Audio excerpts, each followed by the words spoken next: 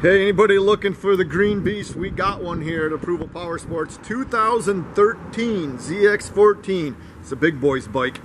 Uh, good miles, 11,378 miles. Comes in a metallic green paint. Just been serviced at the dealership, inspected. All the fluids have been changed. There is a warranty available, so you guys can buy with confidence. Uh, these ZX14s are beasts, guys. Keep an eye on our website, YouTube channel, Facebook page. We're getting a couple more semi-loads of bikes in, so we'll get these things up as quick as we can. We got over 350 bikes now. And we got a ton more coming in, guys.